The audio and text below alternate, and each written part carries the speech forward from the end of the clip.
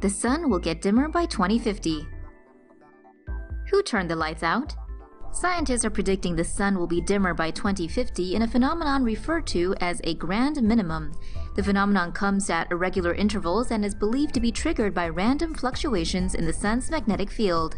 During a grand minimum, sunspots form less frequently, the sun's magnetism is reduced, and less ultraviolet radiation makes it to Earth. A dimmer sun will affect Earth by first thinning the stratospheric ozone layer, which will then impact wind and weather patterns. So, does this mean global warming is solved? No, we're still screwed, but hey, that's what beautiful clean coal is for. Like it hot? Tanning drug could prevent skin cancer. Scientists have developed a drug that can tan human skin without the harmful effects of ultraviolet radiation. In tests on skin samples and mice, researchers found a way to trick the skin into producing melanin, Ultraviolet light causes the skin to tan by damaging it. This starts a chain of chemical reactions in the epidermis that eventually leads to the production of dark melanin, the body's natural sunblock. Researchers have developed a drug that, when applied to the skin, triggers the process of producing melanin without the need for UV light. Tests of the drug were conducted on mice before they were experimented on samples of human skin. Even without exposure to UV rays, the human skin cells darkened as they would when exposed to sunlight. The study also showed melanin produced from being triggered by the drug was able to block harmful UV rays. The drug still needs to go through more safety testing and is not yet ready for commercial use.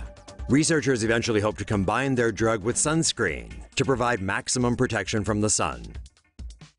Great American Eclipse created bow waves in the atmosphere. Don't look at it, unless you're the president. The total solar eclipse in August of 2017 left bow waves in the Earth's upper atmosphere like a boat sailing through water.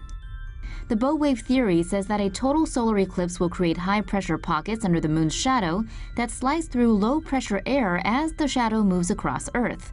These air pockets then generate small bow waves in the atmosphere. Researchers from MIT and University of Tromsø in Norway collected data from around 2,000 satellite sensors placed across North America and for the first time detected tiny bow waves in Earth's ionosphere. The researchers said their study reveals complex interconnections between the Sun, Moon, and Earth's neutral atmosphere and ionosphere. Partial lunar eclipse to take place this week. An eclipse is said to take place in the Eastern Hemisphere, but it's nothing like the Great American Eclipse taking place later this month. A partial lunar eclipse occurs when the Earth is between the Sun and the Moon, but not all are perfectly aligned like during a full eclipse. The partial lunar eclipse on August 7, 2017 begins at 5:22 p.m. Greenwich Mean Time and is expected until 7:18 p.m part of the moon will orbit through Earth's shadow at a speed of 2,300 miles per hour. It will be visible to most of the world, except all of North America, much of South America, and some areas in East and Northern Russia. Unlike solar eclipses, no special equipment is needed to view lunar eclipses. A clear night sky will suffice. Mother Nature is about to totally freak out. Animals are going to act weird when a total solar eclipse passes over the United States later this month. Scientists say when the moon begins to move between the sun and the earth, we could see hoofed animals lying down and hear songbirds fall silent.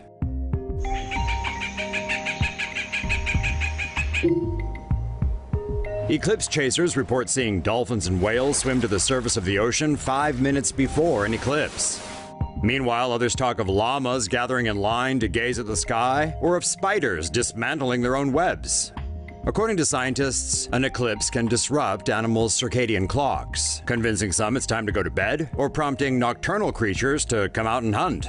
Researchers at the California Academy of Sciences are asking citizens to take part in an experiment by reporting animal behavior during the Great American Eclipse on August 21st. They want to know what all kinds of animals get up to, including domesticated ones. For more info, check out the iNaturalist app on the App Store or Google Play, or go to www.inaturalist.org.